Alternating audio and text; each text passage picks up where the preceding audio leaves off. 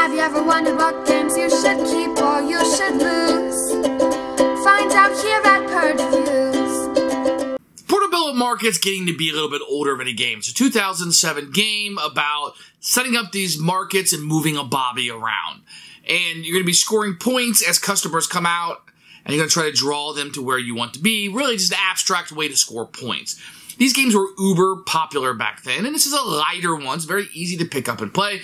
You're going to play a tile down to the most advantageous place on the board for you. You're going to draw a random customer, put them out, and perhaps move the Bobby around, which will take points away from you to get him where you don't want him to be, or rather, away from where you, yeah, where away from where you want him to be. So that's pretty much it. The game can be taught probably in five to seven minutes. It's a very, very simple game, and it really comes down to how the game scores. And I'm not a humongous fan of how to maximize my points this abstractly. Now, listen, this is a game I did have some fun with. This is a, this is a pretty good game, probably six and a half on the BGG scale. But I have a lot of games, and at some point, I got to make hard decisions about what I'm getting through. Things I like about this game: quick to play, easy to teach. Most people understand it, and what you're doing kind of works with the IP or the theme. I think it works fine. What I didn't like about it was it just kind of fell apart for me from a thematic purpose of that, like, it just became about scoring points. And in a crowded, crowded, crowded field of these games about scoring points and lining things up and having the tiles in the right order and how can I do this and how can I move that doohickey, it's just crowded and it didn't last for me. Just didn't have enough oomph to bring me back to the game over and over and over again and the thematic part of it didn't really work. I didn't feel like I was very interested in what I was doing. And it just became a glob of numbers almost. They, they, they put the colors on there. They put the theme on there the best they could. But that's a crowded field to be competing in.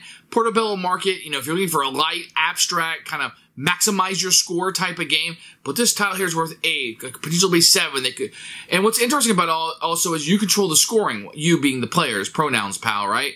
So the players will control what score. So you can't just load up one section because the other players will get wind of that and score it lower. So you want to be careful about that and you want to control the scoring.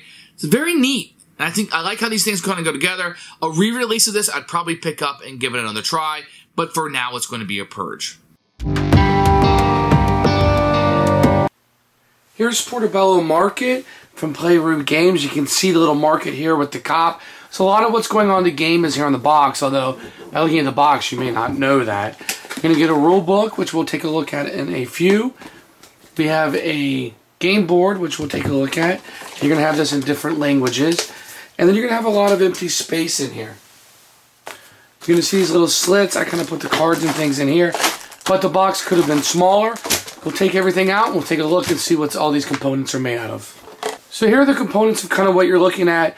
You're going to get a few of these little timer. These are cardboard and very nice. These are very, very thick. You're going to get these little markers in four different colors, which will make up the roads or the tracks, if you will. Very thick and very meaty. You're going to get a bunch of these people that we'll be putting out in different colors. These are really nice oversized meeples, much larger than like what you get in Carcassonne. You're going to get these little cheat sheets for each person of the four. These are cardboard and very thick. And then you're going to get the Bobby here, this, this little uh, purplish black piece that will represent the sheriff there in the game. When you set all this aside, you're going to get a board that flips out. It's very colorful, very nice. You're going to have the scoring track that goes around it. And you're going to have all these little roads and whatnot that go through here. Very nice board. It's a little busy. You have a lot going on and you have these little symbols here. But very functional and a very good board. Here's the rule book. You're going to get the rules presented in three different languages. This is the English. You're going to have a color here of setup of kind of what it looks with pictures of where everything goes, number of players and how many stalls that you'll be using. Object of the game, very good. Open it up. How to play is very, very simple. You got plenty of pictures and examples. Very, very well how these things go, how many citizens, etc. And then the end of the game and how you score will be on the back. So you kind of use this as a cheat sheet at the end of the game. Very good rule book. Very simple game to play, but a very good rule book indeed. Start the game off based on number of players. You'll use certain colors of these, so they have different numbers. You will get your little player aid here that you'll be utilizing. and the timers in your color, and you'll put one scoring cube on the scoring track that goes around the board. That's all it requires for setup. You also take all these people except for the black one, except for the Baron, and you will throw those all back in the bag, and now you're ready to play. So for each round of the game, you're going to have these three little action timers. And what you're going to do on your turn is going to decide if you want to take two, three, or four actions.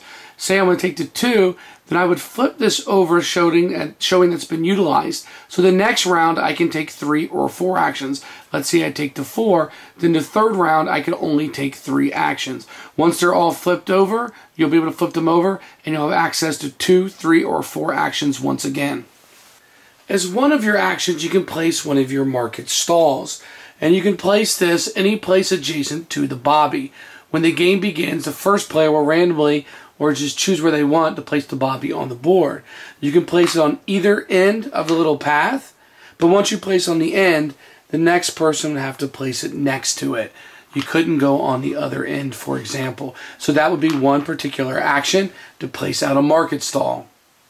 A second action you have is you can draw one of these customers from the bag and you can put them at any of these locations that are kind of the intersection here and you can place those out. I'll explain what these do later, but just know one possible action is to draw one of these from the bag and put them out on the board. Now on your turn, it does not require an action, but you can move the Bobby. Now, this is important if you want to put market stalls in a different location. You'll need to move him. You can move him as far as you want, but there will be a cost associated with moving the Bobby. So if you wanted to cross here and go here, if I'm the red player and I have the most market stalls here, which I do, I do not have to pay anything. I can move over that. If I wanted to move it here, which this is empty, I would have to give up one victory point. Now, if the Bobby was back here and I wanted to cross over here and I'm the red player, the and I went across this, I would have to give a victory point to the yellow player because he has the most stalls here in order to move the Bobby to this location. Now, when a lane is full and there's a customer on each side, then you will score the lane. And that's when this will kind of come in. You can see if it has a gray on each end, you just multiply how many points are by one. If it has a pink on each one by three, and so forth and so forth. So you just kind of look under here, and you look. So the red has one, two, and they're also printed here on the buildings next to it for ease of reference. So to have two, there's two pinks, so two times three is six. Yellow has three plus three is six, times three, so they would have 18 points for this. So when you're placing out the market stalls, you want to make sure you kind of get the ones that are the most valuable, and that will determine what customers you put on the end of the markets. So during the game, you're also going to have these neutral tokens. And what you're going to do at the beginning of the game is you're going to put the higher ones on top. So the first person that utilizes this will have the higher number. In this case, a 3 and if you went all the way to the bottom, it'd be 1. And that's important because this will be set aside at the beginning of the game. Now, if you notice here on the 4 and the 2, they have a little topper on top of it that you don't see on the 3. So twice during the game, you can score an area that hasn't been scored yet, and then you would have the multiplier of times 4 or times 2. And then you'll put this out on the board to signify it's been used, and you will take the new one the new neutral token, and this will be your neutral token that you'll use for your actions. So if you give up to four and I took to three, I'm going to have one less action. But if I'd given up to two and I was able to get to three, I would actually have one more action for the remainder of the game. So it can be a net win or a net loss for you. So the turn, the game is going to end when the last player places their market stall. Everybody will have an equal number of turns. Then you will score the game.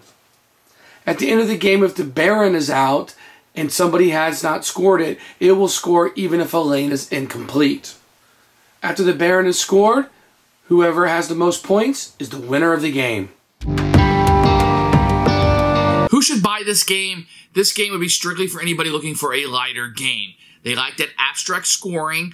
Uh, we're going to do this just to maximize the points. It doesn't really make a lot of sense what's going on in the game other than the fact that I want to score a bunch of points. And I think that those kind of games, it's such a crowded field. I really feel that way. I feel like there's a lot of games like that. And there's a lot of good games like that. And, it's just really like Pick the theme you like the best. Which one strikes a conversation with you the best? And I think that's what this one's going to lack. For me, it doesn't speak to me. But if you like those lighter, abstract, score the most points, I'm going to do this. Doesn't really make sense thematically, but I want to score some points. And if you like that sort of thing, this is going to appeal for you. But for me, mediocre at best. And there's so many games.